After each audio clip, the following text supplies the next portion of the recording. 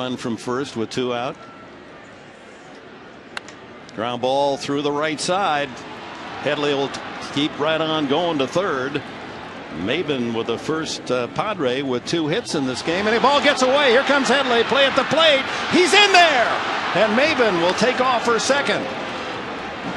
Glenn Hoffman alertly, the third base coach, saw the misplay and got Headley going. A good throw would have gotten him, but the surprise caught the Cardinals off balance and a bad throw made. And uh oh, is Maybin okay? Maybin, as he went back to first, stopped and started, and uh oh, he has come up with a lame right knee. This is not good.